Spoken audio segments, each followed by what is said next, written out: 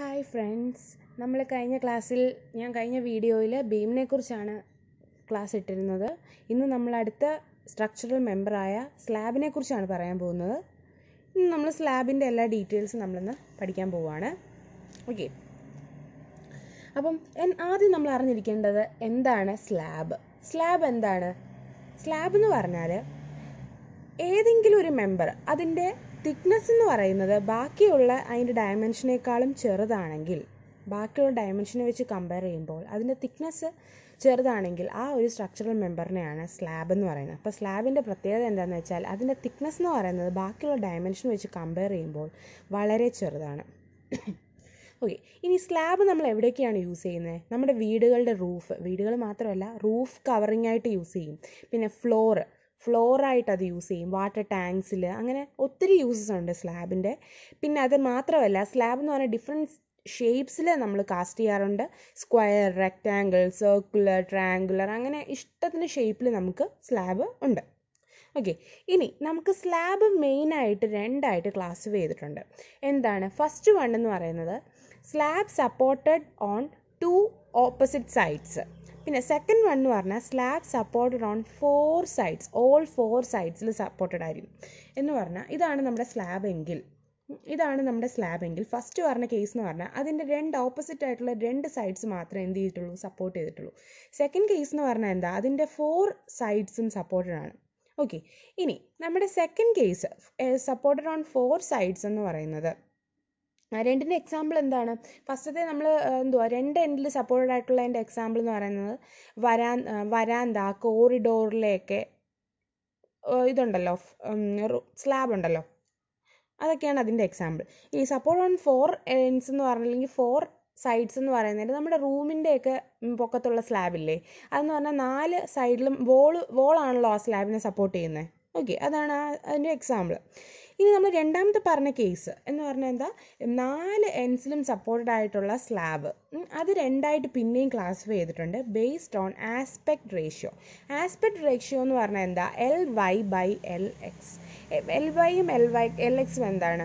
L Y എന്ന് പറഞ്ഞാൽ long സ്പാനും L X എന്ന് പറഞ്ഞാൽ ഷോർട്ട് സ്പാനും ഓക്കെ അപ്പോൾ ratio of long span by short span ഇതിപ്പോൾ സ്ലാബ് ഒരു റെക്റ്റാങ്കുലർ സ്ലാബ് ആണെങ്കിൽ ലോങ് സ്പാൻ എന്ന് പറയുന്നത് ഇതാണല്ലോ അതിന്റെ ലെങ്ത്താണ് എൽ വൈ എന്ന് പറയുന്നത്.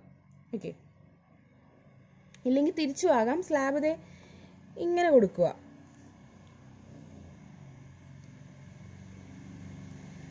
ഇതിന്റെ ലോങ് സ്പാൻ ഏതാണ്? ഇതല്ലേ?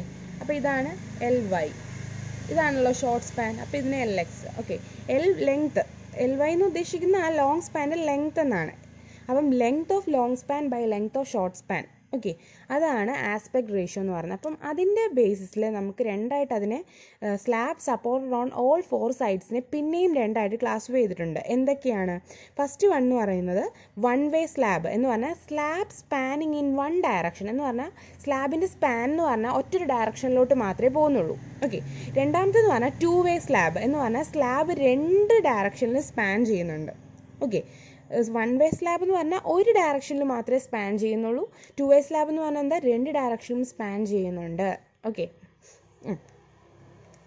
അപ്പം വൺ വേ സ്ലാബിന്റെ അപ്പം L L Y by L X ratio എന്താകുമ്പോഴാണ് അതിനെ one why one way slab എന്നും എന്ത് എന്തിൽ കൂടുമ്പോൾ അല്ലെങ്കിൽ എന്തിൽ കുറയുമ്പോഴാണ് ടു വേ സ്ലാബ് എന്ന് പറയുന്നത് നമുക്ക് നോക്കാം. L Y by L X എന്ന് പറഞ്ഞാൽ ആസ്പെക്ട് റേഷ്യോ എന്ന് പറയുന്നത് greater than or equal to അത് ശ്രദ്ധിക്കണം. Greater than or equal to two ആണെങ്കിൽ അതിനെ വൺ വേ സ്ലാബ് ഇല്ലെങ്കിൽ slab spanning in one direction എന്ന് പറയുന്നു. ഇനി L Y by L X എന്ന് പറയുന്നത് less than two less than two ആകുമ്പോൾ അതിനെ ടു വേ സ്ലാബ് ഇല്ലെങ്കിൽ slab spanning in two direction എന്ന് പറയുന്നു. ഓക്കെ അപ്പോൾ ഇത് രണ്ടും എന്തിന്റെ ക്ലാസിഫിക്കേഷനാണ് slab spanning on all four സൈഡ്സിന്റെ ക്ലാസിഫിക്കേഷനാണ് ഓക്കെ ഇനി ഇന്ന് നമ്മൾ പറഞ്ഞായിരുന്നു ആദ്യത്തെ കേസ് എന്തായിരുന്നു? Slab spanning in two opposite sorry slab spanning അല്ല slab supported on two opposite sides എന്ന് പറഞ്ഞല്ലോ. അതിന്റെ അതെന്ന് പറയുന്നത് നമ്മൾ എപ്പോഴും ഡിസൈൻ ചെയ്യുന്നത് എങ്ങനെയായിരിക്കും? വൺ വേ സ്ലാബ് ആയിട്ടായിരിക്കും ഡിസൈൻ ചെയ്യുന്നത്.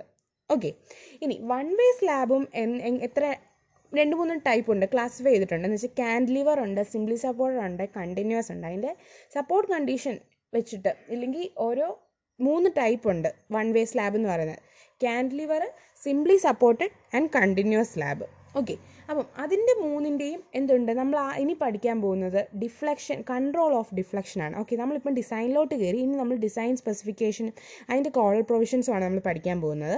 ഫസ്റ്റ് വൺ എന്ന് പറഞ്ഞാൽ കൺട്രോൾ ഓഫ് ഡിഫ്ലക്ഷൻ അപ്പം കൺട്രോൾ കൺട്രോൾ ഓഫ് ഡിഫ്ലക്ഷൻ നമുക്ക് പറഞ്ഞ് നമുക്ക് രണ്ട് സ്ലാബ് ഉണ്ട്. മെയിനായിട്ട് നമ്മളൊരു ക്ലാസിഫിക്കേഷൻ വൺ വേ സ്ലാബും ടു വേ സ്ലാബുമാണ് ഇനി നമ്മൾ അതിന്റെ രണ്ടിന്റെയും ഡിഫ്ലക്ഷൻ കൺട്രോൾ ഇല്ലെങ്കിൽ കൺട്രോൾ ഓഫ് ഡിഫ്ലക്ഷൻ നമ്മൾ പഠിക്കാൻ പോവാം. ഫസ്റ്റ് നമ്മൾ വൺ വേ സ്ലാബിന്റെ വൺ വേ സ്ലാബ് അല്ലെങ്കിൽ സ്ലാബ് സ്പാനിങ് ഇൻ വൺ ഡയറക്ഷന്റെ ഡിഫ്ലക്ഷന്റെ ഇത് പഠിക്കാൻ പോവാം. നമ്മൾ നേരത്തെ ബീമിന് പഠിച്ചായിരുന്നു കൺട്രോൾ ഓഫ് ഡിഫ്ലക്ഷൻ എങ്ങനെയാണ് span by overall depth L by D ratio വെച്ചിട്ടാണ് ഡിഫ്ലക്ഷൻ കൺട്രോൾ പറയുന്നത്. ഓക്കെ അപ്പോൾ അതെങ്ങനെയാണ് ക്യാൻഡിലിവർ ആണെങ്കിൽ എൽ ബൈ ഡി റേഷ്യോ എന്ന് പറയുന്നത് ട്വൽവ് സിംപ്ലി സപ്പോർട്ടഡ് ആണെങ്കിൽ തേർട്ടി കണ്ടിന്യൂസ് ആണെങ്കിൽ തേർട്ടി ഫൈവ് ഓക്കെ അപ്പോൾ അത് കഴിഞ്ഞു. ഇനി അടുത്തതെന്ന് പറഞ്ഞാൽ ടു വേ സ്ലാബിന്റെ ടു വേ സ്ലാബിന്റെ മാത്രമല്ല അതിന് കുറച്ച് കണ്ടീഷനും ഉണ്ട്. ടു വേ സ്ലാബ് ആയിരിക്കണം. പിന്നെന്താ? സ്പാൻ എന്ന് പറയുന്നത് ചെറുതായിരിക്കണം. എന്ന് വെച്ചാൽ ത്രീ പോ up to three point five metre ആയിരിക്കണം. പിന്നെന്താ? അവിടെ യൂസ് ചെയ്തേക്കുന്ന സ്റ്റീൽ എന്ന് പറയുന്നത് മൈൽഡ് സ്റ്റീൽ ആയിരിക്കണം. പിന്നെന്താ? സ്പാൻ ടു അപ്പം അങ്ങനെയാണെങ്കിൽ പിന്നെ അത് മാത്രമല്ല അവിടുത്തെ ലോഡിംഗ് ക്ലാസ് എന്ന് പറയുന്നത് three kilo newton per metre cube അത്രയും മൂന്ന് കണ്ടീഷൻ ആണെങ്കിൽ അങ്ങനെ അത് സാറ്റിസ്ഫൈ ചെയ്യുന്നുണ്ടെങ്കിൽ സിംപ്ലി സപ്പോർട്ടഡ് സ്ലാബ് ആണെങ്കിൽ എത്രയാണ് അതിന്റെ വാല്യൂ തേർട്ടി ഫൈവും കണ്ടിന്യൂസ് ആണെങ്കിൽ ഫോർട്ടി ഓക്കെ ഇനി അടുത്ത് നമുക്ക് പഠിക്കാൻ പോകുന്നത് നമ്മളിപ്പോൾ നേരത്തെ പറഞ്ഞായിരുന്നു മൈൽഡ് സ്റ്റീൽ ആണെങ്കിലാണ് ആ വാല്യൂ എടുക്കേണ്ടത്. ഇപ്പോൾ suppose H Y S T bar എന്ന് വെച്ചാൽ എഫ് ഇ ഫോർ വൺ ഫൈവിനേക്കാളും മേളിലുള്ള ഗ്രൈ ഗ്രേഡിലുള്ള സ്റ്റീലാണ് യൂസ് ചെയ്യുന്നതെങ്കിൽ എന്താ ചെയ്യ ചെയ്യേണ്ടത്? നമ്മൾ മേളത്തെ വാല്യൂ കണ്ടില്ലേ? തേർട്ടി ഫൈവും ഫോർട്ടിയും അതിന്റെ കൂടെ ഒരു പോയിന്റ് എയ്റ്റ് മൾട്ടിപ്ലൈ ചെയ്തിട്ടുള്ള വാല്യൂ എടുത്താൽ മതി എൽ ബൈ ഡി റേഷ്യോയ്ക്ക് ഓക്കെ ഇനി അടുത്തത് നമ്മൾ രണ്ടാമത്തെ ഡിസൈൻ എന്ന് പറയുന്നത് അതിന് കവർ കൊടുക്കണം. കവർ എന്ന് പറഞ്ഞാൽ അറിയാമല്ലോ നമ്മൾ ബീമിന്റെ അകത്തൊക്കെ പറഞ്ഞായിരുന്നു.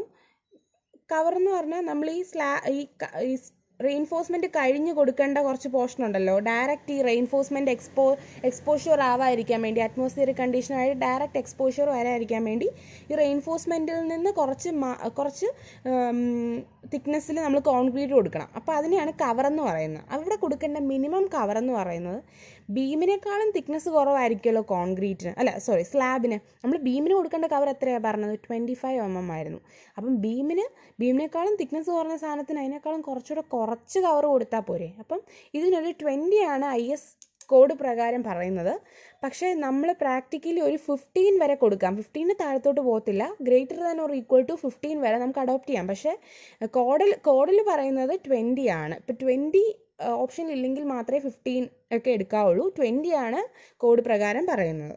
ഓക്കെ ഇനി നമ്മൾ അടുത്തത് പഠിക്കാൻ പോകുന്നത് മിനിമം റെയിൻഫോഴ്സ്മെന്റ് ഓക്കെ ഏത് ഡയറക്ഷനിൽ കൊടുക്കാനും ഈ ഏത് ഡയറക്ഷനിലാണെങ്കിലും ഇതാണ് റെയിൻഫോഴ്സ്മെന്റിന്റെ വാല്യൂ എന്ന് പറയുന്നത്. ഓക്കെ അതും എന്ത് തന്നെയാണ്? എച്ച് വൈ എസ് ടി ബാറിന് ഒരു പെർസെന്റേജും എന്തുവാ മൈൽഡ് സ്റ്റീലിന് ഒരു പെർസെന്റേജും ആണ്. ഇനി H Y S T bar അല്ലെങ്കിൽ ടോർ സ്റ്റീലാണ് യൂസ് ചെയ്യുന്നതെങ്കിൽ അവിടുത്തെ മിനിമം ഏരിയ ഓഫ് സ്റ്റീൽ എന്ന് പറയുന്നത് എന്താണ്? Point one two percentage of gross cross sectional area okay ഇനി അടുത്ത. മൈൽഡ് സ്റ്റീൽ ആണെങ്കിൽ അവിടെ യൂസ് ചെയ്യേണ്ട എ എസ് ടി മിനിമം അല്ലെങ്കിൽ മിനിമം റെയിൻഫോഴ്സ്മെന്റ് എത്രയാണ്? Point one five percentage of gross cross section area gross cross section area എന്ന് പറഞ്ഞാൽ എന്താണ്? Breadth into capital D overall depth B into D ആണ് എന്ത്? ഗ്രോസ് ക്രോസ് ഏരിയ എന്ന് പറയുന്നത്. Okay ഇനി അടുത്തത് എന്താ? അടുത്തത് നമുക്ക് ഈ റെയിൻഫോഴ്സ്മെന്റ് നമ്മൾ രണ്ട് ടൈപ്പ് റെയിൻഫോഴ്സ്മെന്റ് ആണ് സ്ലാബിൽ കൊടുക്കുന്നത് എന്താണ്? ഫസ്റ്റ് വൺ എന്ന് പറഞ്ഞാൽ മെയിൻ റെയിൻഫോഴ്സ്മെന്റ് പിന്നെ രണ്ടാമത്തേന്ന് പറഞ്ഞാൽ ട്രാൻസ്വേഴ്സ് റെയിൻഫോഴ്സ്മെന്റ് ഫോർ എക്സാമ്പിൾ ഇതാണ് നമ്മുടെ സ്ലാബ് എങ്കിൽ.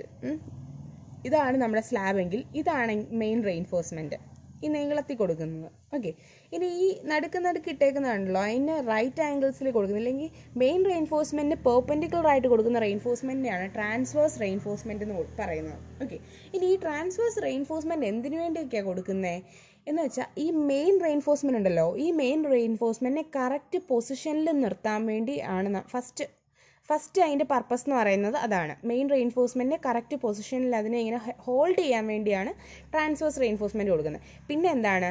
ഷ്രിങ്കേജ് ഷ്രിങ്കേജും ടെമ്പറേച്ചറൊക്കെ കാരണം നമ്മളിവിടെ എഴുതി നമ്മളിവിടെ പറയുന്നുണ്ട് ഷ്രിങ്കേജും ടെമ്പറേച്ചറൊക്കെ കാരണം വരുന്ന ക്രാക്സ് എന്ന് പറയുന്നത് ക്രാക്സ് ഉണ്ടാവാം.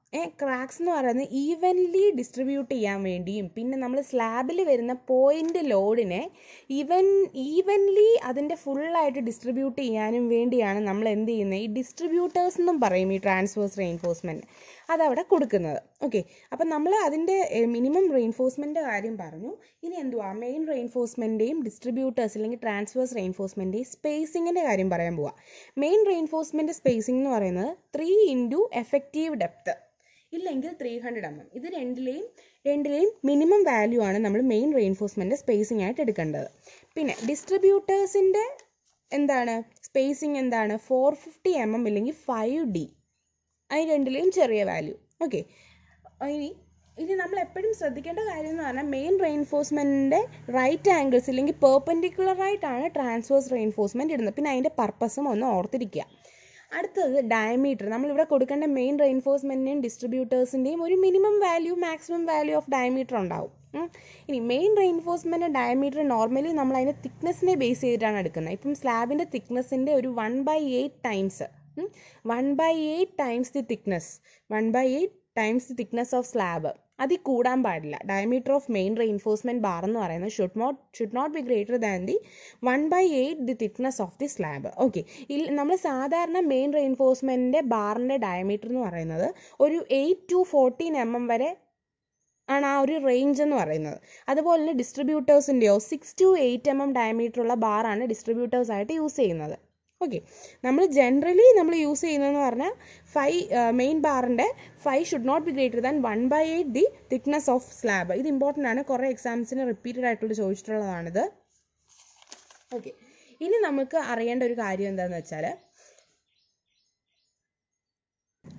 എന്താന്ന് വെച്ചാൽ ഇപ്പോൾ ഒരു സപ്പോസ് നമ്മളൊരു സോളിഡ് സ്ലാബ് എന്ന് വെച്ചാൽ ഒരു സ്ലാബ് ഒരു സോളിഡ് ആയിട്ടുള്ള ഒരു സ്ലാബ് സപ്പോസ് അതിന്റെ അത് രണ്ട് എൻഡിൽ അതിന്റെ ഓപ്പോസിറ്റ് എൻഡിലാണ് അത് സപ്പോർട്ട് ഇതൊരു സ്ലാബാന്ന് വെച്ചോ. ഈ ഒരു സോളിഡ് സ്ലാബ് അതിന്റെ ഈ രണ്ട് എൻഡിലാണ് സപ്പോർട്ട് ചെയ്തേക്കുന്നത് രണ്ട് ഓപ്പോസിറ്റ് അഡ്ജസ്റ്റിലാണ് അതിനെ സപ്പോർട്ട് ചെയ്ത് വെച്ചേക്കുന്നത് സ്ലാബിനെ ഫിക്സഡ് സപ്പോർട്ട് ചെയ്ത് വെച്ചേക്കുന്നത് ഞാനിത് ഉദ്ദേശിച്ചേക്കുന്നത്. ഇത് രണ്ട് എൻഡിലാണ് ഫിക്സ് സപ്പോർട്ട് ചെയ്ത് വെച്ചേക്കുന്നതെങ്കിൽ അത് ക്യാരി ചെയ്യുന്ന കോൺസെൻ അതിന്റെ അകത്ത് എന്ത് ആക്ട് ചെയ്യുന്നുണ്ട്? കോൺസെൻട്രേറ്റഡ് ലോഡ് ആക്ട് ചെയ്യുന്നുണ്ട് എന്ന് വെക്കുക. ഏ അപ്പം ഡെവലപ്പ് ചെയ്യുന്ന അവിടെ അപ്പം എന്ത് ചെയ്യും? മൊമെന്റ് ഡെവലപ്പ് ചെയ്യുമല്ലോ ബെൻഡിങ് മൊമെന്റ് ഡെവലപ്പ് ചെയ്യുമല്ലോ ആ ബെൻഡിങ് മൊമെന്റ് എന്ന് പറയുന്നത് റെസിസ്റ്റ് ചെയ്യുന്നത് ആ സപ്പോർട്ട് ചെയ്തേക്കുന്ന എഡ്ജ് ഉണ്ടല്ലോ? ആ എഡ്ജിന് പാരലൽ ആയിട്ടുള്ള ആ സ്ലാബിന്റെ വിത്താണ് ഇപ്പം ഇതാണ് സപ്പോർട്ട് ചെയ്തേക്കുന്ന എഡ്ജ് ഇതിന് പാരലായിട്ട് വിത്ത് വിട്ട് എന്ന് പറഞ്ഞാൽ എന്താ? ഇതല്ലേ? ഈ ഒരു വിത്താണ് എന്ത് സപ്പോർട്ട് ചെയ്യുന്നത് ആ ഒരു ബെൻഡിങ് മൊമെന്റിനെ റെസിസ്റ്റ് ചെയ്യുന്നതെന്ന്. ഓക്കെ ആ എഫക്റ്റീവ് വിട്ട് ഓഫ് സ്ലാബ് ആണ്. ആ എഡ്ജിന് സപ്പോർട്ടിങ് എഡ്ജിന് പാരലൽ ആയിട്ടുള്ള ആ ഒരു എഫക്റ്റീവ് വിട്ട് ഓഫ് സ്ലാബ് ആണ് അവിടെ ഡെവലപ്പ് ചെയ്യുന്നത്. അവിടെ കോൺസെൻട്രേറ്റഡ് ലോഡ്സ് കാരണം ഡെവലപ്പ് ചെയ്യുന്ന ബെൻഡിങ് മൊമെന്റിനെ റെസിസ്റ്റ് ചെയ്യുന്നത് എന്നാണ് അസ്യൂം ചെയ്യുന്നത്. ഓക്കെ അത് ഞാൻ ജസ്റ്റ് നോട്ടാണ് നോർത്തിരിക്കുക പിന്നെ അടുത്തത് നമ്മൾ എന്താ ചെയ്യാൻ പോകുന്നത്? ഇപ്പം നമ്മൾ ഇത്രയും നേരം പഠിച്ചുകൊണ്ടിരുന്നത് വൺ വേ സ്ലാബിനെ കുറിച്ചായിരുന്നു. അപ്പം അതിന്റെ കാര്യം തന്നെ മാക്സിമം ബെൻഡിങ് മൊമെന്റ് അവിടെ വരുന്ന സിംപ്ലി സപ്പോർട്ടഡിന്റെ കേസിൽ വൺ വേ തന്നെ സിംപ്ലി സപ്പോർട്ടഡ് സ്ലാബിന്റെ കേസിൽ വരുന്ന മാക്സിമം ബെൻഡിങ് മൊമെന്റിന് ഇക്വേഷൻ ഉണ്ട്. ഓക്കെ അതെന്താണ്? M is equal to Q D square മിക്ക ക്വസ്റ്റ്യനിലും ചോദിക്കുന്നത് ഇങ്ങനെ ഇങ്ങനെ ഡയറക്റ്റ് ആയിട്ടല്ലായിരിക്കും ഇക്വേഷൻ ചോദിക്കുന്നത്. എഫക്റ്റീവ് ഡെപ്ത് കണ്ടുപിടിക്കുന്നതിന്റെ ഇക്വേഷൻ ആയിരിക്കും ചോദിക്കുന്നത്. അപ്പോൾ ഇതിൽ നിന്ന് ഇതിന്റെ അകത്ത് എം ആണ് മാക്സിമം ബെൻഡിങ് മൊമെന്റ് ക്യൂ എന്ന് പറഞ്ഞാൽ മൊമെന്റ് റെസിസ്റ്റിംഗ് ഫാക്ടറാണ് ഈ ക്യൂ എന്ന് തന്നെ ആയിരിക്കണമെന്നില്ല. ചില ടെക്സ്റ്റ് ബുക്സിൽ ആറെന്ന് ക്യൂ ഇതിനെ ഈ ഒരു മൊമെന്റ് റെസിസ്റ്റിംഗ് ഫാക്ടറിനെ റെപ്രസെന്റ് ചെയ്യാറുണ്ട്. ഡി എന്ന് പറഞ്ഞാൽ എന്താ? എഫക്റ്റീവ് ഡെപ്ത് ഓഫ് സ്ലാബ് ഇപ്പം നമുക്ക് അവിടുത്തെ മൊമെന്റ് ലോഡിംഗ് കണ്ടീഷനൊക്കെ തന്നിട്ടുണ്ട്. ലെഡ് ലോഡും ലൈവ് ലോഡും ഒക്കെ തന്നിട്ടുണ്ട്. നമുക്ക് മൊമെന്റ് റെസിസ്റ്റിംഗ് ഫാക്ടറും അറിയാം. അങ്ങനെയാണെങ്കിൽ എഫക്റ്റീവ് ഡെപ്ത് ഓഫ് സ്ലാബ് എങ്ങനെയാണ് കണ്ടുപിടിക്കുന്നത് D is equal to D square is equal to M by Q D എന്ന് പറഞ്ഞാൽ അപ്പോൾ എന്താണ്? D is equal to root of M by Q okay ഇവിടെ ശ്രദ്ധിക്കേണ്ട കാര്യം എന്തോന്ന് വെച്ചാൽ ഇവിടെ ഇങ്ങനെ ഈ ഒരു ഇക്വേഷൻ ഇടുമ്പോഴത്തേക്ക് നമുക്ക് ഈ എം എന്ന് പറയുന്നത് ന്യൂട്ടൺ എം എമ്മിലായിരിക്കണം മൊമെന്റ് മൊമെന്റിന്റെ യൂണിറ്റ് എന്ന് പറയുന്നത് ന്യൂട്ടൺ എം എമ്മിലും ക്യൂ ക്യൂവിന് യൂണിറ്റ് ഇല്ല റെസിസ്റ്റിംഗ് ഫാക്ടറാണ് ഡി എന്ന് പറയുന്നത് എം എമ്മിലാണ് ഓക്കെ എല്ലാം ന്യൂട്ടൺ എം എമ്മിലാണ് കിട്ടുന്നത്. ഓക്കെ നമുക്കത് മീറ്ററിലോ സെന്റിമീറ്ററിലോ എന്തിലാണ് വേണ്ടതെന്ന് വെച്ചാൽ മീറ്ററിൽ വേണമെങ്കിൽ നമ്മൾ എന്ത് ചെയ്യുക? അതിനെ കൺവേർട്ട് ചെയ്യുക. ഓക്കെ ഇനി ഇനി അടുത്ത എന്താ? നമുക്കിനി അറിഞ്ഞിരിക്കേണ്ട കുറച്ച് നോട്ടുണ്ട് ഫസ്റ്റ് വൺ എന്ന് പറഞ്ഞാൽ one way slab one way slab one way slab നമ്മൾ പറഞ്ഞായിരുന്നല്ലോ സ്പാനിങ് ഇൻ വൺ ഡയറക്ഷൻ ഇപ്പം വൺ വേ സ്ലാബിൽ ഒരു യു ഡി എൽ ക്യാരി ചെയ്യുക. ഇതിനകത്ത് യു ഡി എൽ ആക്ട് ചെയ്യുവാണെങ്കിൽ ആ ആ ഒരു സ്ലാബ് എന്ന് പറയുന്നത് ഡിസൈൻ ചെയ്യുന്നത് എങ്ങനെയാണ് എങ്ങനെയായിരിക്കണം? അതിന്റെ മിഡ് സ്പാനിൽ ബെൻഡിങ് മൊമെന്റ് ഉണ്ടാവും. സാഗിങ് ബെൻഡിങ് മൊമെന്റ് ഉണ്ടാവും മിഡ് സ്പാനിൽ ഓക്കെ ആ മിഡ് സ്പാനിൽ ഉണ്ടാവുന്ന ആ സാഗിങ് ബെൻഡിങ് മൊമെന്റിനെ റെസിസ്റ്റ് ചെയ്യുന്ന വിധത്തിൽ വേണം അവിടെ എന്താ ആ ഒരു വൺ വേ സ്ലാബ് ഡിസൈൻ ചെയ്യാൻ വേണ്ടി. സപ് എന്തോ ഇപ്പോൾ പറഞ്ഞു വരുന്നതെന്ന് വെച്ചാൽ ഇപ്പം സപ്പോസ് ഒരു വൺ വേ സ്ലാബ് എടുത്തു. ആ വൺ വേ സ്ലാബിൽ യു ഡി എൽ ആക്ട് ചെയ്യുക. ഏ അപ്പോൾ യു ഡി എൽ ആക്ട് ചെയ്യാൻ നേരത്തെ അവിടെ എന്തുണ്ടാകും ഒരു സാഗിങ് ബെൻഡിങ് മൊമെന്റ് ഉണ്ടാവും. സാഗിങ് ബെൻഡിങ് മൊമെന്റ് ഉണ്ടാവും. സാഗിങ് ബെൻഡിങ് മൊമെന്റ് എന്ന് പറഞ്ഞാൽ എന്താ? ഇങ്ങനെ ഒരു ബെൻഡിങ് മൊമെന്റ് ഉണ്ടാവും സാഗ് ചെയ്ത്. അപ്പോൾ ഇതാണ് സ്ലാബ് എങ്കിൽ ഇങ്ങനെ ഒരു ബെൻഡിങ് മൊമെന്റ് ഉണ്ടാവും അപ്പോൾ ഈ സാഗിങ് ബെൻഡിങ് മൊമെന്റിനെ റെസിസ്റ്റ് ചെയ്യത്തക്ക വിധം. എവിടെയാണ് സാഗിങ് ബെൻഡിങ് മൊമെന്റ് ഉണ്ടാകുന്നത് മിഡ് സ്പാനിൽ ഓക്കെ അപ്പോൾ ആ മിഡ് സ്പാനിൽ സാഗിങ് ബെൻഡിങ് മൊമെന്റ് ഉണ്ടാവും. ആ ഒരു ബെൻഡിങ് മൊമെന്റിനെ റെസിസ്റ്റ് ചെയ്യുന്ന വിധം വേണം നമ്മൾ എന്ത് ചെയ്യാൻ? വൺ വേ സ്ലാബ് ഡിസൈൻ ചെയ്യാൻ വേണ്ടി. ഓക്കെ ഇനി അടുത്ത്. ആ ഒരു അടുത്ത കേസ് എന്ന് പറഞ്ഞാൽ ഒരു എന്റയർ സ്പാനിലും ആ ഒരു സ്ലാബ് കണ്ടിന്യൂസ് സ്ലാബ് ആണെങ്കിൽ കണ്ടിന്യൂസ് ആയിട്ടാണ് ആ സ്ലാബ് ഡിസൈൻ ചെയ്യുന്നതെങ്കിൽ ഹോഗിങ് മൊമെന്റ് എന്ന് പറയുന്നത് ആ ഒരു ഇന്റർമീഡിയറ്റ് സപ്പോർട്ടിൽ ഇപ്പം കണ്ടിന്യൂസ് സ്ലാബ് എന്ന് പറഞ്ഞാൽ എന്താ? ഒരു സ്ലാബിന്റെ ഇടയ്ക്കിടയ്ക്ക് ഇങ്ങനെ ഒരു എന്റെ കൂടുതൽ സപ്പോർട്ട് ഉണ്ടാവുമല്ലോ കണ്ടിന്യൂസ് സ്ലാബ് എന്ന് പറഞ്ഞാൽ അപ്പം ഇവിടെ സംഭവിക്കുന്നത് എന്താ വെച്ചാൽ ഇതിന്റെ അകത്ത് ഇപ്പം യു ഡി എൽ ആക്ട് ചെയ്യുവാണെങ്കിൽ എന്റയർ സ്പാൻ എന്റയർ സ്പാൻ എന്ന് പറയുന്നത് കണ്ടിന്യൂസും ആണ് ആണ് ആണ്. അപ്പം അവിടെ എന്ന് പറഞ്ഞാൽ ആ സ്പാനിൽ അപ്പോൾ എന്ത് ചെയ്യുക ഇന്റർമീഡിയറ്റ് സപ്പോർട്ടിൽ അവിടെ എന്ത് സംഭവിക്കുന്നു? ഹോഗിങ് മൊമെന്റ് ഇൻഡ്യൂസ് ചെയ്യും. ഓക്കെ കണ്ടി എന്റയർ സ്പാനിൽ കണ്ടിന്യൂസ് ആണെങ്കിൽ അവിടെ എന്തുണ്ടാവുന്നു ഇന്റർമീഡിയറ്റ് സ്പാൻസിൽ ഇല്ല ഇന്റർമീഡിയറ്റ് സപ്പോർട്ട്സിൽ ഹോഗിങ് മൊമെന്റ് ഹോഗിങ് മൊമെന്റ് എന്ന് പറഞ്ഞാൽ എന്താ? നെഗറ്റീവ് മൊമെന്റ് ഹോഗിങ് എന്ന് പറഞ്ഞാൽ നെഗറ്റീവ് മൊമെന്റ് ആണ് ഇൻഡ്യൂസ് ചെയ്യുന്നു. ജസ്റ്റ് ഒരു നോട്ടായിട്ട് ഓർത്തിരിക്കേണ്ട കാര്യമാണ് ഓക്കെ അപ്പം നമ്മൾ വൺ വേ സ്ലാബിന്റെ ഏകദേശം എല്ലാം കഴിഞ്ഞു. അപ്പം one way slab some note ഓർത്തിരിക്കുക നോട്ട് മുമ്പേ പറഞ്ഞ നോട്ട്സ് ഇനി അടുത്ത ടു വേ സ്ലാബ് നമ്മൾ ടു വേ സ്ലാബിലോട്ട് പോവുകയാണ് ടു വേ സ്ലാബിന്റെ നമ്മൾ നേരത്തെ പറഞ്ഞായിരുന്നു എന്താണ് ടു വേ സ്ലാബ് അതിന്റെ slab spanning in two direction okay പിന്നെ അതിന്റെ നാല് എഡ്ജസും സപ്പോർട്ടഡ് ആയിരിക്കും. പിന്നെ എന്താണ്? അതിന്റെ L Y by L X എന്ന് പറയുന്നത് റേഷ്യോ എന്ന് പറയുന്നത് എന്താണ്? വളരെ ചെറുതാണ്. എന്ന് വെച്ചാൽ ലെസ് ദാൻ ടു ആണല്ലോ. ഓക്കെ ഇനി അതിന്റെ പ്രത്യേകത എന്താ? സ്പാനിങ് ഇൻ ടു ഡയറക്ഷൻ ആണ്. അതുകൊണ്ട് തന്നെ ബെൻഡിങ് മൊമെന്റ് എന്ന് ബെൻഡിങ് എന്ന് പറയുന്നത് രണ്ട് ഡയറക്ഷനിലും വൈ ഡയറക്ഷനിലും എക്സ് ഡയറക്ഷനിലും രണ്ട് ഡയറക്ഷനിലും ഏത് രണ്ട് ഡയറക്ഷനിലും അവിടെ ബെൻഡിങ് ഉണ്ടാകുന്നു അതുകൊണ്ട് അതിന്റെ വാല്യൂ എന്ന് പറയുന്നത് വളരെ ചെറുതാണ്. ഓക്കെ അപ്പം അത്രയും പഠിച്ചു. ഇനി ഈ ടു വേ സ്ലാബിന് രണ്ട് മൂന്ന് കണ്ടീഷൻ ഉണ്ട്. നമ്മൾ നേരത്തെ വൺ വേ സ്ലാബിന് ലിവറിനും അങ്ങനെ കുറേ പഠിച്ചല്ലോ സിംപ്ലി സപ്പോർട്ടഡ് അങ്ങനെയൊക്കെ പഠിച്ചായിരുന്നല്ലോ. അതുപോലെ തന്നെ ടു വേ സ്ലാബിന് അല്ലാതെ മൂന്ന് കണ്ടീഷൻ ഉണ്ട് അതിന്റെ. അതിന്റെ കണ്ടീഷനും അല്ലെങ്കിൽ അതിന്റെ ടൈപ്സ് എന്ന് പറയാം. അതെങ്ങനെയാണ് അത് ഓരോ മെത്തേഡ് വെച്ചിട്ടാണ് ഓരോ കണ്ടീഷനും അനലൈസ് ചെയ്യുന്നത്. അതിന്റെ കാര്യവും നമുക്ക് പറയാം. ഫസ്റ്റ് കണ്ടീഷൻ എന്ന് പറഞ്ഞാൽ simply supported on four edges നാല് നാല് എഡ്ജസിലും സിംപ്ലി സപ്പോർട്ടഡും ആയിരിക്കും. അതിന്റെ കോർണേഴ്സ് എന്ന് പറയുന്നത് നോട്ട് ഹെൽ ഡൗൺ അതിന്റെ കോർണേഴ്സ് എന്ന് പറയുന്നത് നോട്ട് ഹെൽ ഡൗണും ആണ്. പിന്നെന്തോ അതിൽ യു ഡി എൽ വരുന്നുണ്ട്. ഓക്കെ അതാണ് ഫസ്റ്റ് കണ്ടീഷൻ ഫസ്റ്റ് കണ്ടീഷൻ എന്ന് പറഞ്ഞാൽ എന്താണ്?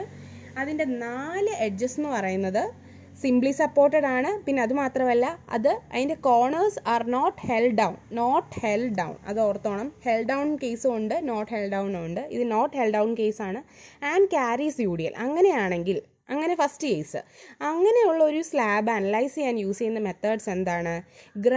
Grashof and Rankine theory Grashof and Rankine theory use ചെയ്തിട്ടാണ് അങ്ങനെയുള്ള സ്ലാബ് അനലൈസ് ചെയ്യുന്നത്. ഓക്കെ ഇനി അതെങ്ങനെയാണ്? അത് വെച്ചിട്ട് ആ ഒരു ഇക്വേഷൻ ഉണ്ട്. ആ ഒരു തിയറി പ്രകാരമുള്ള ഇക്വേഷൻ എന്താ? W X by W Y is equal to L Y by L X the whole raise to four okay ഇതിനകത്ത് ഡബ്ല്യു എക്സ് എന്ന് പറഞ്ഞാൽ എന്താ? നം എൽ എക്സും എൽ വൈയും എന്താണെന്നറിയാലോ? എൽ എക്സ് എൽ എക്സ് എന്ന് പറഞ്ഞാൽ ലോങ് സ്പാൻ എൽ വൈ എന്ന് പറഞ്ഞാൽ ഷോർട്ട് സ്പാൻ ഓക്കെ ഇനി ലോങ് സ്പാനിന് പാരലായിട്ട് വരുന്ന സ്ട്രിപ്പിൽ കൊടു ഉണ്ടാവുന്ന ലോഡാണ് ഡബ്ല്യു വൈ എന്ന് പറയുന്നത്. വൈ എന്ന് പറഞ്ഞാൽ ലോങ് സ്പാൻ ആണല്ലോ. ലോങ് സ്പാന്റെ ഡയറക്ഷൻ ആണല്ലോ വൈ ഡയറക്ഷൻ എന്ന് പറഞ്ഞത്. അപ്പം ആ ഒരു ലോങ് സ്പാന്റെ ലോങ് സ്പാനിന് പാരലായിട്ട് വരുന്ന ഇപ്പം സപ്പോസ് ഇതാണ് നമ്മുടെ സ്ലാബ് ഇത് എൽ വൈ ഇത് എൽ എക്സ് ആണ് സപ്പോസ് ഇങ്ങനെ ഇങ്ങനെ ഇങ്ങനെ ഇരിക്കട്ടെ. ഓക്കെ ഇനി ഇതിന് പാരലായിട്ട് ലോങ് സ്പാനിന് പാരലായിട്ട് കൊടുക്കുന്ന ലോഡിനെയാണ് എൽ സോറി ഡബ്ല്യു വൈ എന്നും. ഷോർട്ട് സ്പാനിന് പാരലായിട്ട് കൊടുക്കുന്ന ലോഡിങ്ങിനെയാണ് ഡബ്ല്യു എക്സ് എന്ന് പറയുന്നത് ഫിഗർ ഇങ്ങനെയല്ല ഫിഗർ ഞാൻ ജസ്റ്റ് അത് മനസ്സിലാവാൻ വേണ്ടി പറഞ്ഞതാണ്. ഓക്കെ ഇനി അത് വെച്ചിട്ട് ഈ Grashof and Rankine theory എന്താ പറയുന്നത് വെച്ചാൽ W X by W Y is equal to L Y by L X whole raise to four ആണെന്നാണ് അവർ പറയുന്നത്. ഓക്കെ ഇനി സെക്കൻഡ് കണ്ടീഷൻ എന്ന് പറയുന്നത് നമ്മൾ നേരത്തെ പറഞ്ഞത് simply support on four എഡ്ജസും corners are not held down അല്ലായിരുന്നോ? നെക്സ്റ്റ് കേസ് എന്ന് പറഞ്ഞാൽ അപ്പോൾ എന്തോ ആയിരിക്കും? Corners held down and carries U D L അപ്പം അങ്ങനത്തെ ഒരു ഒരു സ്ലാബ് ആണെങ്കിൽ അവിടെ യൂസ് അവിടെ യൂസ് ചെയ്യുന്ന അനാലിസിസ് ചെയ്യുന്ന മെത്തേഡാണ് I S code method Marcus method പിന്നെ പിഗാഡോസ് മെത്തേഡ് എന്ന് പറഞ്ഞൊരു മെത്തേഡ് ഉണ്ട്. ഞാനിവിടെ മെൻഷൻ ചെയ്യാൻ മറന്നതാണ്. പിഗാഡോസ് മെത്തേഡ് മൂന്ന് മെത്തേഡ് ഉണ്ട്. എന്തൊക്കെയാ? I S code method Marcus method Pigeaud's method okay ആദ്യം നമുക്ക് മാർക്കസ് മെത്തേഡിനെ കുറിച്ച് പറയാം. മാർക്കസ് മെത്തേഡിന്റെ അകത്ത് അവിടെ അതിന്റെ ആ ഒരു തിയറി ഇല്ലെങ്കിൽ ആ ഒരു മെത്തേഡിൽ എന്താ പറയുന്നതെന്ന് വെച്ചാൽ അവിടെ ഡെവലപ്പ് ചെയ്യുന്ന മാക്സിമം ബെൻഡിങ് മൊമെന്റ് ആ സ്ലാബിൽ ഡെവലപ്പ് ചെയ്യുന്ന മാക്സിമം ബെൻഡിങ് മൊമെന്റ് എന്ന് പറയുന്നത് കണ്ടുപിടിക്കും. എന്നിട്ട് എന്ത് ചെയ്യും? ആ ഒരു ബെൻഡിങ് മൊമെന്റിനെ ഒരു റിഡക്ഷൻ ഫാക്ടർ വെച്ചിട്ട് റെഡ്യൂസ് ചെയ്യും. ആ ഒരു ബെൻഡിങ് മൊമെന്റിനെ റെഡ്യൂസ് ചെയ്യും by a by multiplying with a reducing factor okay ആ റെഡ്യൂസിങ് ഫാക്ടർ എന്താണ്? ഫൈവ് ഇല്ലെങ്കിൽ മൾട്ടിപ്ലൈയിങ് ഫാക്ടർ എന്നും അതിനെ പറയും കേട്ടോ. Okay five by six into R square by one plus R raise to four okay Marcus മെത്തേഡിൽ അവിടുത്തെ ഡെവലപ്പ് ചെയ്യുന്ന maximum bending moment is reduced by a factor ആ ഫാക്ടറാണ് five by six into R square by one plus R raise to four എന്ന് പറയുന്നത്. R എന്ന് പറഞ്ഞാൽ എന്താ? നമ്മുടെ ഈ റേഷ്യോ ഉണ്ടല്ലോ aspect ratio L by L Y by L X എന്ന് വെച്ചാൽ long span by short span length of long span by length of short span അതാണ് ആർ എന്ന് പറയുന്നത്. ഓക്കെ ഇനി ഐ എസ് കോഡ് മെത്തേഡ് പ്രകാരം നമ്മുടെ ഐ എസ് കോഡിൽ എന്താണ് പറയുന്നത്? നമ്മൾ moment M X M Y രണ്ട് ഡയറക്ഷനുള്ള മൊമെന്റ് കണ്ടുപിടിക്കും. ഓക്കെ ആ മൊമെന്റ് മൊമെന്റ് ഒക്കെ കണ്ടുപിടിക്കുന്ന ഇക്വേഷൻ ഉണ്ട്. W omega X omega X L square അങ്ങനെ പറഞ്ഞ ഇക്വേഷൻ ഉണ്ട്. ആ ഇക്വേഷൻ ജസ്റ്റ് ഒന്ന് നോക്കി വെച്ചാൽ മതി. പിന്നെ അതിന്റെ അകത്ത് എന്താ പറയുന്നത് വെച്ചാൽ slab spanning in two direction ഏ? Slab spanning in two direction എന്ന് പറയുന്നത് രണ്ടായിട്ട് ഡിവൈഡ് ചെയ്യുക സ്ലാബിനെ എന്ന് വെച്ചാൽ മിഡിൽ സ്ട്രിപ്പായിട്ടും എൻ എഡ്ജ് സ്ട്രിപ്പായിട്ടും ഡിവൈഡ് ചെയ്യുന്നു. കോഡ് കോഡ് പ്രകാരം as per I S code slab spanning in two direction എന്ന് പറയുന്നത് രണ്ടായിട്ട് ഡിവൈഡ് ചെയ്യുവാണ്. മിഡിൽ സ്പാ മിഡിൽ സ്ട്രിപ്പും എഡ്ജ് സ്ട്രിപ്പും ഓക്കെ മിഡിൽ സ്ട്രിപ്പ് എന്ന് പറയുന്നത് ഇതിപ്പം സപ്പോസ് നമ്മളിപ്പം രണ്ട് സ്പാൻ ഉണ്ടല്ലോ. സ്പാനിങ് ഇൻ ടു ഡയറക്ഷൻ എന്ന് പറഞ്ഞാൽ എക്സ് ഡയറക്ഷനിലും സ്പാൻ ചെയ്യുന്നുണ്ട് വൈ ഡയറക്ഷനിലും സ്പാൻ ചെയ്യുന്നുണ്ട്.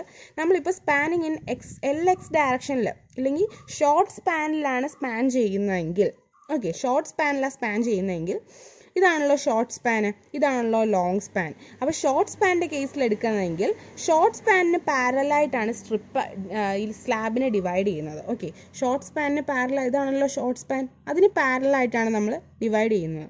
അപ്പം ഈ നടുക്ക് വരുന്നതാണ് മിഡിൽ സ്ട്രിപ്പ് എന്ന് പറയുന്നത്. രണ്ട് എൻഡിൽ വരുന്നതാണ് എന്ത്? എഡ്ജ് സ്ട്രിപ്പ് എന്ന് പറയുന്നത്. ഓക്കെ ഇനി ഇത് ഫുൾ എൽ വൈ ആണെങ്കിൽ ഇതിനെയാണല്ലോ നമ്മൾ എക്സിനെ പാരലായിട്ട് ഡിവൈഡ് ചെയ്തേക്കുന്നത്. അപ്പം എൽ വൈനെ ആണല്ലോ ഡിവൈഡഡ് ആവുന്നത്. അപ്പം എൽ വൈനെ വിത്ത് റെസ്പെക്റ്റീവ് ആയിട്ടാണ് ലെങ്ത് ഡിവൈഡ് ചെയ്തേക്കുന്നത്. ഇവിടെ ചോദിക്കാൻ പറ്റിയ സാധ്യതയുള്ള ക്വസ്റ്റൻ എന്ന് പറഞ്ഞാൽ മിഡിൽ സ്ട്രിപ്പിന്റെ വിട്ട് എത്രയാണ്? ഓക്കെ അതെന്ന് പറയുന്നത് three by four L Y രണ്ട് edge സ്ട്രിപ്പിന്റെയോ each L Y by eight അല്ലെങ്കിൽ one by eight L Y one by eight L L Y okay ബാക്കി എത്രയാണ്? Three L Y by four okay ഒന്നെങ്കിൽ ഈ ഈ ഇത് ഓർത്ത് വെക്കുക. ഒരു എൻഡ് സ്ട്രിപ്പിന്റെ എൽ വൈ ബൈ എയ്റ്റ് ആണല്ലോ. അപ്പം മറ്റേതും എൽ വൈ ബൈ സെയിം ആയിട്ടാണ്. എഡ്ജ് സ്ട്രിപ്പിന്റെ വിത്ത് സെയിം ആണ്. എൽ വൈ ബൈ എയ്റ്റ് ഓർത്തിരിക്കുക. രണ്ട് പ്രാവശ്യം എൽ വൈ ബൈ എയ്റ്റ് വരുവാണെങ്കിൽ എന്തോ two into L Y by eight plus L Y by eight എത്രയാ? എൽ വൈ ബൈ ഫോർ അപ്പം ബാക്കി മിഡിൽ സ്ട്രിപ്പിന്റെ എങ്ങനെ കണ്ടുപിടിക്കുന്നത്? ഫുൾ എൽ വൈ ആണല്ലോ. അപ്പോൾ L Y minus L Y by four ചെയ്താൽ മതി. അപ്പോൾ എന്ത് കിട്ടും? Three by four L Y അപ്പം എല്ലാം ഓർത്ത് വെക്കാൻ ബുദ്ധിമുട്ടാണെങ്കിൽ അങ്ങനെ പഠിച്ചു വെക്കുക. ഏതെങ്കിലും ഒരു എൽ വൈ ബൈ എയ്റ്റ് പഠിച്ചു വെക്കുക. ഓക്കെ ഇവിടെ രണ്ട് എഡ്ജ് ഉണ്ട്. ഉണ്ടല്ലോ. അപ്പം രണ്ട് എഡ്ജിൽ എൽ വൈ ബൈ എയ്റ്റ് ആണ്. അപ്പം നടുക്കത്തെ മൈനസ് ചെയ്ത് കണ്ടുപിടിക്കുക ഇനി അടുത്ത സ്പാനിങ് ഇൻ എൽ എക്സ് ഡയറക്ഷനിൽ സ്പാൻ ചെയ്യുവാണെങ്കിൽ സ്ട്രിപ്പ് ഏതിന് പാരലായിട്ടാണ് എൽ വൈക്ക് പാരലായിട്ടാണ് ഡിവൈഡ് ചെയ്യുന്നത്. കണ്ടോ? ഇതാണല്ലോ എൽ വൈ എൽ വൈക്ക് പാരലായിട്ട് നമ്മൾ സ്ട്രിപ്പ് ഡിവൈഡ് ചെയ്തു. മിഡിൽ സ്ട്രിപ്പിന്റെ ലെങ്ത് അപ്പോൾ എന്തുമായിരിക്കും നമ്മൾ ആ കേസിൽ എൽ എക്സിനെയാണ് ഡിവൈഡഡ് ആയി പോകുന്നത് അല്ലേ? അപ്പോൾ എൽ വൈ എക്സിനെ റെസ്പെക്റ്റ് ആയിട്ടാണ് പറയുന്നത്. മറ്റേതുപോലെ തന്നെ അവിടെ എൽ വൈയുടെ പകരം ഇവിടെ എൽ എക്സ് വരണമെന്നേ ഉള്ളൂ. One by eight L L X ഇവിടെയും one by eight L X അപ്പോൾ നടുക്ക് എന്തായിരിക്കും? Three by four L X okay ഇത് രണ്ടും എൻഡ് സ്ട്രിപ്പ് ഇതാണ് മിഡിൽ സ്ട്രിപ്പ് ഓക്കെ ഇനി നമ്മൾ പറഞ്ഞു ഐ എസ് കോഡ് പ്രകാരം മാക്സിമം മൊമെന്റ് എം എക്സും സ്ലാബ് സ്പാനിങ് ടു ഡയറക്ഷൻ ആയതുകൊണ്ട് എം എക്സും കണ്ടുപിടിക്കും എം വൈയും കണ്ടുപിടിക്കും. എന്നിട്ട് അതെന്താണ്? മിഡിൽ സ്ട്രിപ്പിൽ മാത്രമേ അപ്ലൈ അപ്ലൈ ചെയ്യുന്നുള്ളൂ. അതിനെ റീഡിസ്ട്രിബ്യൂട്ട് ഒന്നും ചെയ്യുന്നില്ല. മിഡിൽ സ്ട്രിപ്പിൽ മാത്രമേ അത് അപ്ലൈ ചെയ്യത്തുള്ളൂ. ഓക്കെ രണ്ട് എഡ്ജ് എഡ്ജിലൊന്നും അത് ഡിസ്ട്രിബ്യൂട്ട് ചെയ്യുന്നില്ല. ആകെ മിഡിൽ സ്ട്രിപ്പിൽ മാത്രമേ അത് എന്ത് ചെയ്യുന്നുള്ളൂ? അപ്ലൈ ചെയ്യുന്നുള്ളൂ. പിന്നെ അടുത്തത് നമ്മൾ പറയാൻ പോകുന്നത് കർട്ടെയിൽമെന്റിന്റെ കാര്യമാണ് എന്ന് പറഞ്ഞാൽ നമ്മൾ സ്ലാ കട്ടെയിൽമെന്റ് എന്ന് പറഞ്ഞാൽ എന്താ? നമ്മൾ ഈ സ്ലാബിനെ എവിടെ വെച്ച് കട്ട് ചെയ്യും? സ്ലാബിനെ നമുക്ക് ഫുൾ ലെങ്ത്തിലൊന്നും നീട്ടിക്കൊണ്ട് പോകണ്ട നമുക്ക് ബെൻഡിങ് മൊമെന്റ് കുറവുള്ള സ്ഥലത്ത് അല്ലെങ്കിൽ ബെൻഡിങ് മൊമെന്റ് സീറോ ആവുന്ന അടുത്തൊന്നും നമുക്ക് റെയിൻഫോഴ്സ്മെന്റ് ആവശ്യമില്ല. ബെൻഡിങ് ഇല്ലാത്ത സ്ഥലത്ത് റെയിൻഫോഴ്സ്മെന്റ് വേണ്ട. അപ്പം നമുക്ക് അവിടെ വെച്ച് കട്ട് ചെയ്യാൻ പറ്റും. അപ്പം നമ്മൾ ആ കട്ടെയിൽമെന്റ് കൊടുക്കുന്നത് സപ്പോർട്ടിൽ നിന്ന് എത്ര ഡിസ്റ്റൻസ് എക്സ്റ്റെൻഡ് ചെയ്യണം? അങ്ങനെയൊക്കെ കുറച്ച് കണ്ടീഷൻ ഉണ്ട്. അതാണ് നമ്മളിപ്പോൾ പറയാൻ പോകുന്നത്. ഇനി നമ്മളിപ്പം അതിന്റെ കാര്യം കിടക്കുന്നതിന് മുമ്പേ നമ്മൾ ടെൻഷൻ റെയിൻഫോഴ്സ്മെന്റ് പ്രൊവൈഡ് ആയിട്ട് mid span in the middle strip നമ്മൾ മിഡിൽ സ്ട്രിപ്പിലുണ്ടല്ലോ മിഡിൽ സ്ട്രിപ്പിൽ കൊടുക്കുന്ന ടെൻസ് ടെൻസൈൽ റെയിൻഫോഴ്സ്മെന്റ് എന്ന് പറയുന്നത്. നമ്മൾ ആ മിഡിൽ സ്ട്രിപ്പിൽ കൊടുക്കുന്ന ടെൻസൈൽ റെയിൻഫോഴ്സ്മെന്റ് എന്ന് പറയുന്നത് വളച്ച് ലോവർ പാർട്ടിലോട്ടും എക്സ്റ്റെൻഡ് ചെയ്യണം കുറച്ച്. ഓക്കെ ആ മിഡിൽ സ്ട്രിപ്പിൽ കൊടുക്കുന്ന ടെൻസൈൽ റെയിൻഫോഴ്സ്മെന്റ് എന്ന് പറയുന്നത് എക്സ്റ്റെൻഡ് ചെയ്ത് ലോവർ പാർട്ടിലോട്ടും കുറച്ച് എക്സ്റ്റെൻഡ് ചെയ്യണം. അപ്പോൾ ആ എക്സ്റ്റെൻഡ് ചെയ്യേണ്ട ഡിസ്റ്റൻസ് എന്ന് പറയുന്നത് സപ്പോർട്ടിൽ നിന്ന് point one five L L എന്ന് പറഞ്ഞാൽ എന്താ? നമ്മുടെ ക്ലിയർ സ്പാൻ ആണ് എൽ എന്ന് പറയുന്നത്. ഓക്കെ ആ എല്ലിന്റെ point one one five times L distance വരെ എന്ത് ചെയ്യുക? ലോവർ പാർട്ടിലോട്ട് എക്സ്റ്റെൻഡ് ചെയ്ത് കൊടുക്കുക. ഓക്കെ ഇപ്പം എന്താ പറയണ്ടേ? ഇതാണ് നമ്മുടെ ക്രോസ് സെക്ഷൻ എങ്കിൽ ഇങ്ങനെ ലോവർ പാർട്ടിലോട്ട് എക്സ്റ്റെൻഡ് ചെയ്ത് കൊടുക്കുക. ആ എക്സ്റ്റെൻഡ് ചെയ്യേണ്ട ലെങ്ത് ആണ് point one five times L എന്ന് പറയുന്നത്. For simply supported and discontinuous edge okay ഇനി ഇനി അടുത്ത എന്താണ്? കണ്ടിന്യൂസ് എഡ്ജ് ആണെങ്കിൽ ഡിസ്കണ്ടിന്യൂസ് എഡ്ജ് ആണെങ്കിൽ അല്ലെങ്കിൽ സിംപ്ലി സപ്പോർട്ടിന്റെ കേസിലാണ് ഞാൻ പറഞ്ഞത് നേരത്തെ. ഇനി കണ്ടിന്യൂസ് എഡ്ജ് ആണെങ്കിൽ എന്താണ്? സപ്പോർട്ടിൽ നിന്ന് point two five times L extend ചെയ്ത് കൊടുക്കുക. ലോവറിലോട്ട് എക്സ്റ്റെ ലോവർ പാർട്ടിലോട്ട് എക്സ്റ്റെൻഡ് ചെയ്യേണ്ട ഡിസ്റ്റൻസ് എന്ന് പറയുന്നത് സപ്പോർട്ടിൽ നിന്ന് point two five times L നേരത്തെ ഡിസ്കണ്ടിന്യൂസ് എഡ്ജ് അല്ലെങ്കിൽ സിംപ്ലി സപ്പോർട്ടഡ് എഡ്ജ് ആണെങ്കിൽ എന്ന് വെച്ചാൽ കണ്ടിന്യൂ ചെയ്ത് പോകുന്നില്ല. അവിടെ നിൽക്കുക ഡിസ്കണ്ടിന്യൂ ചെയ്യുക. എന്ന് പറഞ്ഞാൽ അവിടെ സിംപ്ലി സപ്പോർട്ടഡ് ഉണ്ടാവുമല്ലോ. അതാണെങ്കിൽ ഓക്കെ അപ്പോൾ നമ്മൾ എന്ത് പറഞ്ഞതെന്ന് വെച്ചാൽ ഇപ്പോൾ ഒന്നുകൂടെ ഞാൻ പറയാം. നമ്മൾ ഇപ്പോൾ കർട്ടൈൽമെന്റിന്റെ കാര്യമാണ് പറയുന്നത്. നമുക്ക് രണ്ട് കേസ് ഉണ്ട്. ഫസ്റ്റ് വൺ എന്ന് പറഞ്ഞാൽ ഡിസ്കണ്ടിന്യൂസ് എഡ്ജസ് രണ്ടാമത്തെ എന്ന് പറഞ്ഞാൽ കണ്ടിന്യൂസ് എഡ്ജസ് ഓക്കെ ഇത് കണ്ടിന്യൂസ് ലാബിന്റെ കേസിലാണ് ഫസ്റ്റ് കേസ് എന്ന് പറഞ്ഞാൽ discontinuous edge second case continuous edge discontinuous edge എന്ന് പറഞ്ഞാൽ അവിടെ എന്തുണ്ട്? ഒരു സിംപ്ലി സപ്പോർട്ടഡ് സപ്പോർട്ടഡ് കണ്ടീഷനാണ് ഓക്കെ അല്ലാതെ കണ്ടിന്യൂസ് എഡ്ജും ഉണ്ട്. ഓക്കെ അപ്പം ഡിസ്കണ്ടിന്യൂസ് എഡ്ജിൽ നിന്ന് എഡ്ജ് ആണെങ്കിൽ ആ ഒരു സപ്പോർട്ടിൽ നിന്ന് അല്ലെങ്കിൽ സിംപ്ലി സപ്പോർട്ടഡ് ആ ഒരു സപ്പോർട്ട് ഉണ്ടല്ലോ ആ സപ്പോർട്ടിൽ നിന്ന് പോയിന്റ് വൺ ഫൈവ് എൽ മാറി കട്ടൈൽമെന്റ് ചെയ്യാം. പിന്നെ എന്തോ കണ്ടിന്യൂസ് ആയിട്ട് പോകുന്ന ഒരു എഡ്ജ് ഉണ്ടാവുമല്ലോ. ഇപ്പോൾ സപ്പോസ് ഒരു കണ്ടിന്യൂസ് സ്ലാബാണ് ഏ കണ്ടിന്യൂസ് സ്ലാബ് തന്നെ വിത്ത് സിംപ്ലി സപ്പോർട്ടഡ് എഡ്ജ് അങ്ങനെയാണെങ്കിൽ സിംപ്ലി സപ്പോർട്ടഡ് ആയിട്ടുള്ള ഒരു എഡ്ജ് ഉണ്ടാവും കണ്ടിന്യൂസ് ആയിട്ടുള്ള എഡ്ജ് ഉണ്ടാവുമല്ലോ. സിംപ്ലി സപ്പോർട്ടഡ് എഡ്ജിൽ നിന്ന് പോയിന്റ് വൺ ഫൈവ് എല്ലും കണ്ടിന്യൂസ് എഡ്ജിൽ നിന്ന് കണ്ടിന്യൂസ് സപ്പോർട്ടിൽ നിന്ന് പോയിന്റ് ടു ഫൈവ് എൽ ആ ഡിസ്റ്റൻസ് മാറി നമുക്ക് എന്ത് ചെയ്യാൻ പറ്റും? കട്ടയിൽ ചെയ്യാൻ പറ്റും. അവിടെ വെച്ച് നമുക്ക് ബ്രേക്ക് ചെയ്യാൻ പറ്റും. നമ്മുടെ ഈ തമ്പി കട്ട് ചെയ്യാൻ പറ്റും. ഓക്കെ ഇനി അടുത്ത് നമ്മളിത് പറഞ്ഞത് continuous slab with simply support with one end simply supported ആയിരുന്നു. ഇനി സിംപ്ലി സപ്പോർട്ടഡ് സ്ലാബ് ആണെങ്കിലോ രണ്ട് എൻഡും സിംപ്ലി സപ്പോർട്ടഡ് ആണെങ്കിൽ എന്ത് സംഭവിക്കുന്നത്? രണ്ട് സപ്പോർട്ടിൽ നിന്നും എയ്തർ സപ്പോർട്ടിൽ നിന്നും point one zero L point one zero L മാറി നമുക്ക് കർട്ടയിൽ ചെയ്യാവുന്ന. ഓക്കെ എല്ലെന്ന് പറഞ്ഞാൽ എന്താ? അവിടെ ക്ലിയർ സ്പാൻ ആണ്. അപ്പോൾ മനസ്സിലായിട്ടുണ്ടെന്ന് ഞാൻ വിചാരിക്കുന്നു. ഞാൻ ഒന്നുകൂടെ പറയാം. കർട്ടെയിൽമെന്റ് എന്ന് പറയുന്ന രണ്ട് കേസ് ഉണ്ട്. ഫസ്റ്റ് കേസ് എന്ന് പറയുന്നത് continue for continuous slab with one end simply support അങ്ങനെയാണെങ്കിൽ ടെൻസൈൽ റെയിൻഫോഴ്സ്മെന്റ് പ്രൊവൈഡ് ചെയ്യുന്നതെന്ന് പറഞ്ഞാൽ മിഡിൽ സ്പാനിൽ പ്രൊവൈഡ് ചെയ്യുന്നത് എക്സ്റ്റെൻഡ് ചെയ്യേണ്ട പോർഷൻ എന്ന് പറയുന്നത് സപ്പോർട്ടിൽ നിന്ന് സിംപ്ലി സപ്പോർട്ടഡ് എൻഡിൽ നിന്ന് point one five L distance മാറി കർട്ടൈൽ ചെയ്യാം. കണ്ടിന്യൂസ് എഡ്ജിൽ നിന്ന് point two five L distance മാറി കർട്ടൈൽ ചെയ്യാം. സിംപ്ലി സപ്പോർട്ടഡ് സ്ലാബ് ആണെങ്കിൽ point one zero L distance മാറി കർട്ടൈൽ ചെയ്യാം. ഓക്കെ ഇനി നമുക്ക് കുറച്ച് നോട്ട്സ് ഉണ്ട്. അത് ജസ്റ്റ് അതുകൂടെ കഴിഞ്ഞ് നമ്മുടെ സ്ലാബ് കഴിഞ്ഞു. അപ്പം ഫസ്റ്റ് നോട്ട് എന്ന് പറയുന്നത് ഐ എസ് സ്റ്റാൻഡേർഡ് പ്രകാരം ഐ എസ് സ്റ്റാൻഡേർഡ് പ്രകാരം മിനിമം ടോട്ടൽ തിക്നെസ് ഓഫ് സ്റ്റാ ഓഫ് സ്ലാബ്. എന്ന് വെച്ചാൽ സ്റ്റിഫ്നെസ്സിന്റെ ഒരു പോയിന്റ് ഓഫ് വ്യൂ വെച്ച് നോക്കുവാണെങ്കിൽ സ്റ്റിഫ്നെസ് ഫാക്ടർ കൺസിഡർ ചെയ്യുവാണെങ്കിൽ ഒരു സ്ലാബിന്റെ മിനിമം ടോട്ടൽ തിക്നെസ് എന്ന് പറയുന്നത് അതിന്റെ ഷോർട്ട് സ്പാൻ ഉണ്ടല്ലോ. സ്ലാബിന് ഒരു ഷോർട്ട് സ്പാനും ലോങ് സ്പാനും ഉണ്ടല്ലോ. അപ്പോൾ ആ ഷോർട്ട് സ്പാനിന്റെ ഷോർട്ട് സ്പാൻ ന്റെ ഒരു ലെങ്ത് ഉണ്ടല്ലോ. ആ length divide by thirty five ആണ് അവിടെ കൊടുക്കേണ്ട മിനിമം ടോട്ടൽ തിക്നെസ് എന്ന് പറയുന്നത്. ഓക്കെ അതാണ് ഫസ്റ്റ് നോട്ട് ചെയ്യേണ്ട പോയിന്റ് സെക്കൻഡ് എന്ന് പറഞ്ഞാൽ ടു വേ സ്ലാബിന്റെ ബെൻഡിങ് മാക്സിമം ബെൻഡിങ് മൊമെന്റും ഡിഫ്ലക്ഷൻ എന്നും പറയുന്നത് വൺ വേ സ്ലാബിനേക്കാളും ഒത്തിരി കുറവാണ്. ഓക്കെ അപ്പോൾ വൺ വേ സ്ലാബിനാണ് മാക്സിമം ബെൻഡിങ് മൊമെന്റും കൂടുതൽ മാക്സിമം ബെൻഡിങ് മൊമെന്റും ഡിഫ്ലക്ഷനും കൂടുതലുള്ളത്.